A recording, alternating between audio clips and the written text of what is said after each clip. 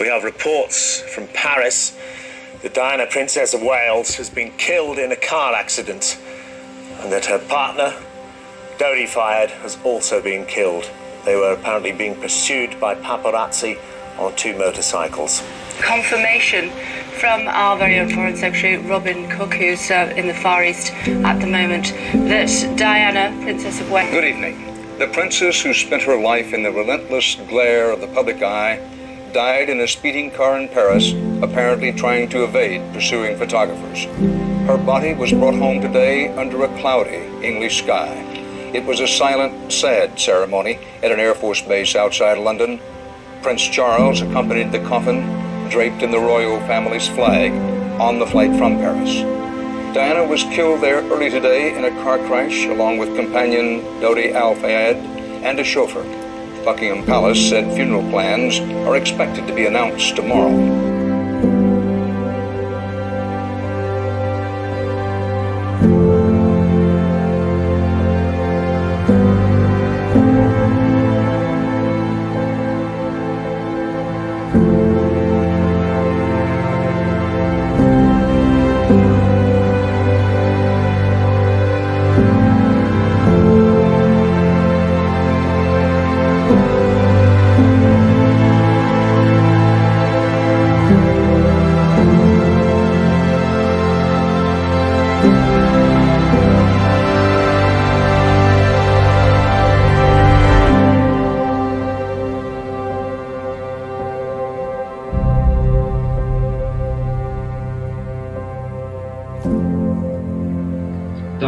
Very essence of compassion, of duty, of style, of beauty.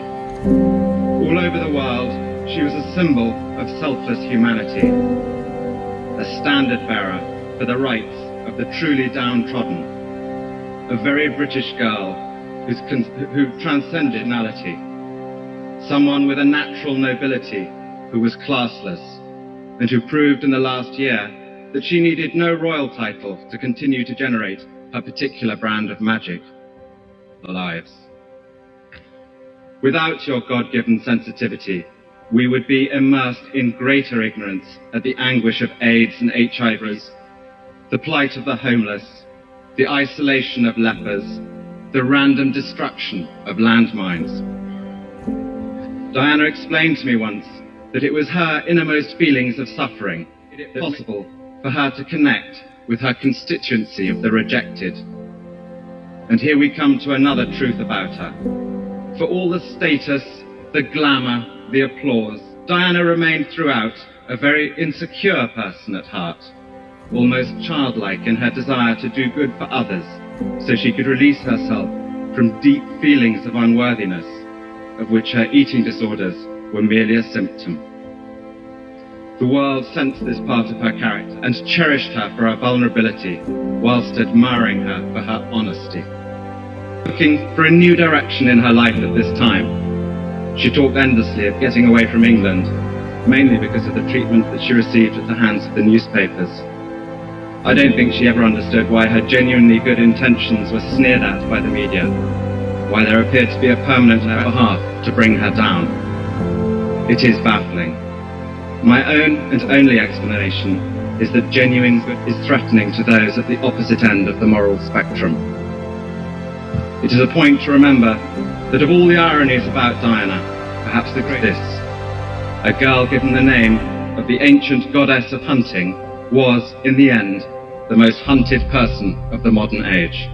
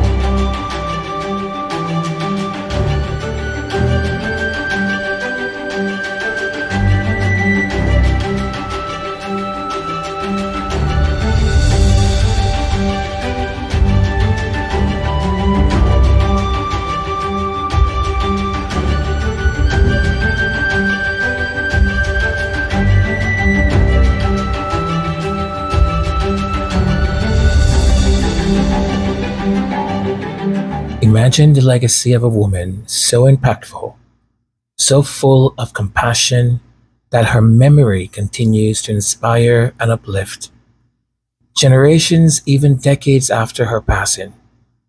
That woman is Princess Diana. And today, her spirit of kindness, compassion, and empowerment lives on through the young people who receive the Diana Award, a symbol of hope, courage, and leadership. It all began with a vision in 1999, just two years after the tragic loss of Princess Diana. Her legacy was set in stone through the creation of the Diana Award.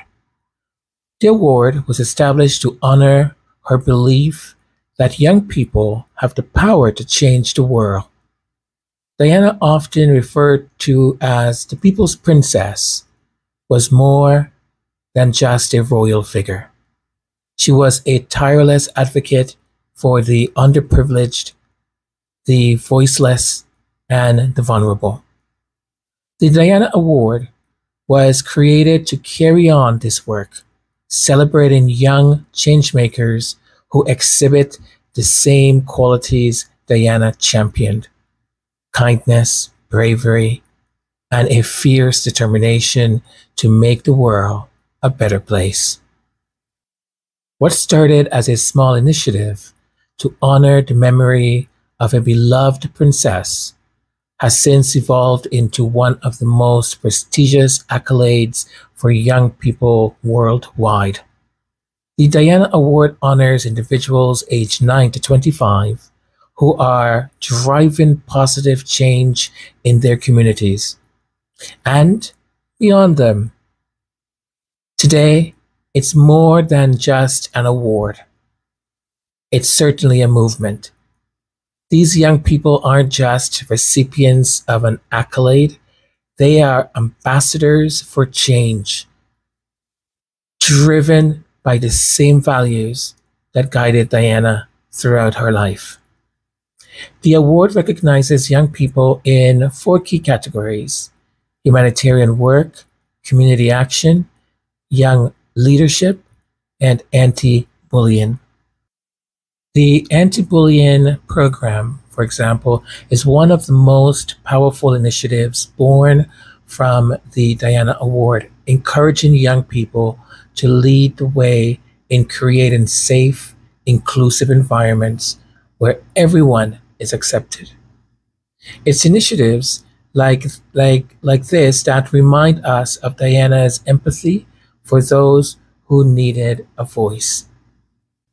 Prince Harry has always been a fierce protector of his mother's memory, and good for him.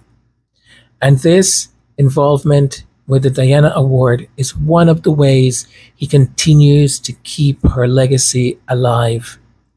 Since his early adulthood, Prince Harry has supported the Diana Awards mission, attending ceremonies, mentoring young leaders, and sharing his mother's passion for humanitarian work.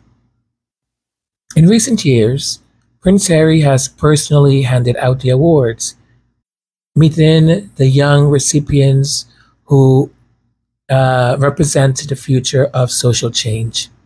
He often speaks of his mother's influence on his life, and he has made it clear that this award holds a special place in his heart this year's ceremonies are being held in New York, and Prince Harry is there. He already has given his first um, panel discussion with two of the recipients of the Diana Award at the summit, at the Concordia Summit in New York City. It was a fantastic panel, fantastic conversation. Future and to create long lasting change. Young people have the talent passion, and insight to be the change that they want to see in the world. I am a young youth volunteer in my community. I'm empowering young people from across the world and advancing the UN Sustainable Development Goals. I'm raising awareness to mental health. I campaign for all children to be taught to read and write regardless of their educational level. That's why we are working together to empower young people to make positive change. I want young people to be engaged at a local, national, and global level. I want to advocate for young girls and teenagers. I want to make an impact and be a part of the solution that will help change the world around us. I believe that mental health should be taken as seriously as physical health. Prioritizing health care to treat the whole person, not just the disease. I want to see people like me making the decisions that affect me. Especially when our future is at stake. We are your present, and listening to our voice is the most powerful way to affect change from the bottom up. Join us in creating a future forward world because our future is safest in the hands of those who will live it. Here's where the heart of the Diana Award shines. Let me share a story about a past recipient. Anika created an app, Change It's Normal, which tackles the knowledge gap in puberty by providing reliable, personalized information to teenagers.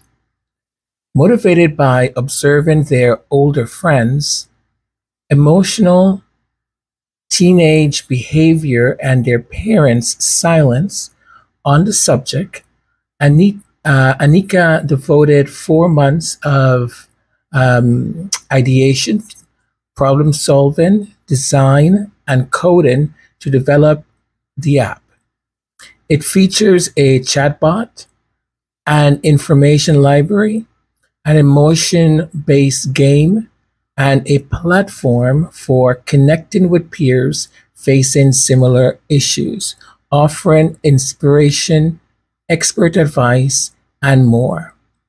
With users across more than 40 countries, the app has received positive reviews and accolades, including the grand prize in the Technovation Girls Competition, highlighting its impact and success.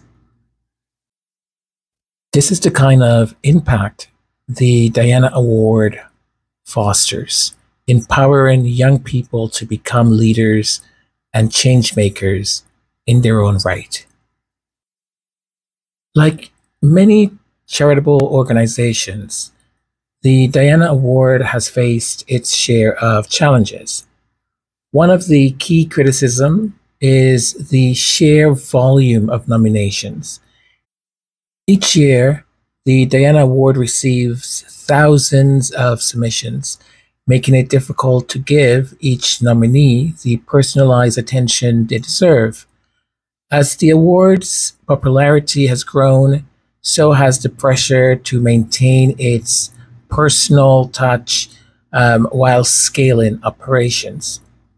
Additionally, there have been occasional concerns about the financial sustainability of the organization as it relies heavily on funding efforts um, and corporate uh, partnerships. However, the organization has been transparent about its finances and remains committed to uh, expanding its reach through strategic planning. Looking ahead, the future of the Diana Award is, is bright. With Prince Harry's continued involvement, the organization plans to expand its membership programs, provide more anti bullying training, and increase the number of young people recognized each year. The award's mission to empower young changemakers has never been more relevant, especially in a world where youth voices are leading global movements for climate change action, social justice, and mental health advocacy. The ripple effect of the Diana Award will continue to grow just as Princess Diana's legacy continues to inspire new generations. As we celebrate the work of the Diana Award, we invite you to become part of this journey. Whether you are nominating a young leader, spreading the word about this initiative, or offering your support, You have the power to help shape the future of our world. In the words of Prince Harry, let's build a world where young people are celebrated, empowered, and supported to change the world.